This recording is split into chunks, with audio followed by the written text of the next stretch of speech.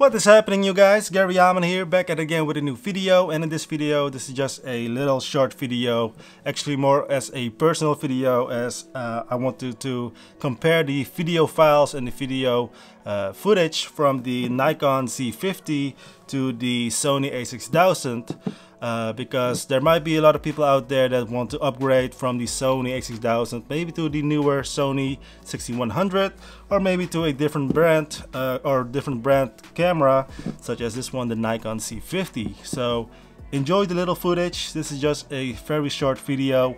Uh, I'm comparing the files comparing stuff and later on maybe uh, the end of this week or the week after I'm gonna do the full review of the Nikon Z50. so subscribe to my channel to see that one.